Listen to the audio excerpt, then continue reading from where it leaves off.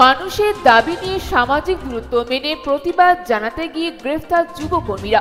চার দফা দাবিতে রাজ্য জুড়ে ব্লক মহকুমা প্রশাসনিক আধিকারিকের দপ্তরে এক ঘণ্টার অবস্থান পালন করে ডেপুটেশন দেওয়ার কর্মসূচি নিয়েছিল ডিওয়াইএফআই রাজ্য কমিটি। এই কর্মসূচি পালন করতে গিয়ে ধুপগুড়িতে গ্রেফতার হতে হল ছয় যুব নেতৃত্বকে। স্বাস্থ্যবিধি, সামাজিক দূরত্ব রেখে ডিওয়াইএফআই জেলা সভাপতি নূর আলম, রাজু রায়, আনোয়ার হোসেন, উত্তম সিং মনোজ সাহা বুকে পোস্টার সেটে বিডিও দফতরের সামনে যেতে বিরাট পুলিশ বাহিনী তাদের গ্রেফতার করে।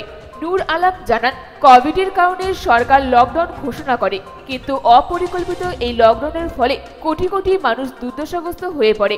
আমরা লকডাউন নিয়ে বিরোধিতা করছি না কিন্তু মানুষের বিপদে সরকারের যে দায়িত্ব পালন করা দরকার ছিল, তা কেন্দ্র ও রাজ্য দুই সরকার অস্বীকার করায় গরিব, খেটে খাওয়া শ্রমজীবী মানুষরা বিপদে পড়েছে। আমাদের দাবি সকল পরিযায়ী শ্রমিকদের ফেরাতে হবে। জেলাভিত্তিক পরিযায়ী শ্রমিকদের জন্য প্রশাসনের তরফ থেকে কার্যকারী হেল্পলাইন চালু করতে হবে। সব মানুষকে রেশন দিতে হবে। রেশন নিয়ে দুর্নীতি বন্ধ করতে হবে। করোনা প্রতিরোধে ব্যর্থ রাজ্য ও কেন্দ্র সরকারের মিথ্যাচার বন্ধ হোক। টেস্টের সংখ্যা বৃদ্ধি করতে হবে। কেন্দ্রীয় সরকারকে সবার জন্য জনধন প্রকল্পের ন্যূনতম পাঁচ হাজার টাকা দিতে হবে।